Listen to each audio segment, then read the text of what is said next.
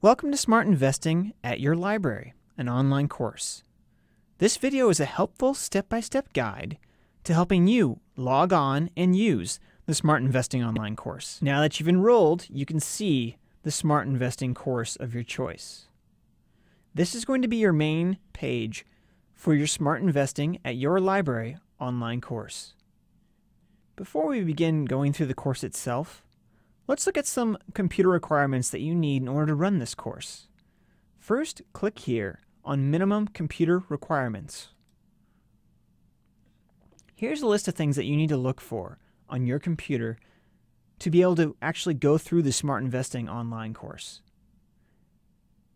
One thing that I think you need to look at Adobe Reader. There will be many worksheets that you need to take a look at, so make sure you update this as well.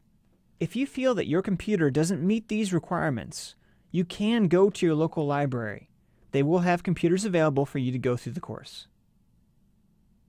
Here's some key features that I kind of want to point out right now. As you can see, these icons illustrate certain aspects of the course. For instance, this movie reel demonstrates that there is a video for you to watch. This person with a, with a screen represents a mini lecture. Use this page to understand the key. The third step before you begin the course is going to be watching the course introduction video. Let's take a look at that now.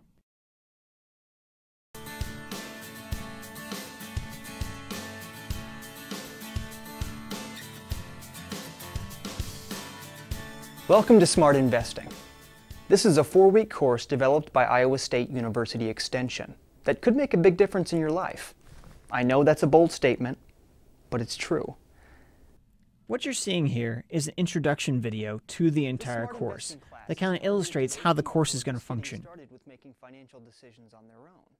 There are three different courses for smart investing that correspond to your age and financial situation. This smart investing class is targeted to those people who are building up their investment portfolios. Let's say the baby boomer crowd. This smart investing class is targeted to those people who are near retirement or have already retired. Let's get into the course itself. Smart investing is divided into four week courses. When you finish the first week's activities, watch for the posting of the next week's lessons on Monday mornings. By the way, the previous lessons will stay posted on the website in case you want to go back and review them or spend some additional time on some activities. We're just going to walk through week one for right now. First up, we have a mini lecture to listen to. Let's click on that. If I had a million dollars, if I had a million dollars, well, I'd buy you a house. I would buy you a house. The second step of week one is your learning modules. Here you have three PDF files that are going to be the bulk of the learning you do for this week. Let's open Preparing to Invest. As you can see, the PDF file is opened in a browser, which enables you to read through clearly. Read through this information, take your time. When you're finished, again, close your browser window. Return to this window to move on to the next. Step 4 is a review of the concepts you've learned by completing this matching exercise. This question and answer review is Flash based, so make sure your Adobe Flash is up to date. The fifth step is watching the starting out video. This is a video that features two families that discuss their approaches to investing. Click here to start the video.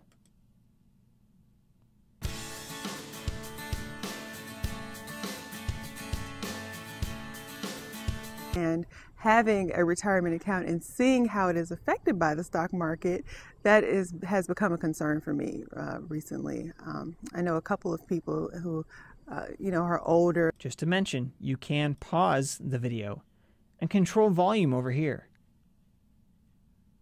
Be patient as the video loads. And finally, here are two very important buttons. The first is the HD toggle. If your video is not playing very smoothly, switch HD to off by pushing this button. Next to this button is the full screen button. Click this if you want to watch your video in full screen. Let's move on to step six. Complete the goal setting and financial planning worksheet. Here's another PDF file for you. It is a worksheet that you can read through and complete.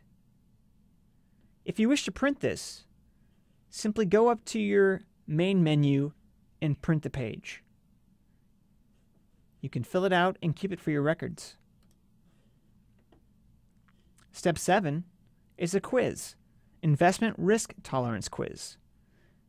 Clicking this opens another browser window.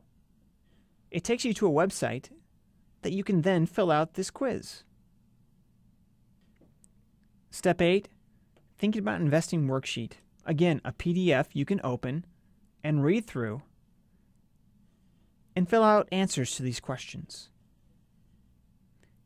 Number 9, we have Check Your Knowledge Self Test. This is going to be an online quiz you take within the program. Take some time, fill out these answers. When you're finished, submit. This is going to let you know what questions you got right and wrong so you can learn from it. Finally, number 10, there are some optional activities. You can go to the Treasury Direct website, check out some books, or read through some ISU Extension publications. If you have any questions, up here in the upper left hand corner will be the instructor and technical assistance contacts. You click on this, it will open your email and allow you to email the instructor or the technical assistance person. Thank you for watching this tutorial, and we hope that you have an easy time going through the Smart Investing online course.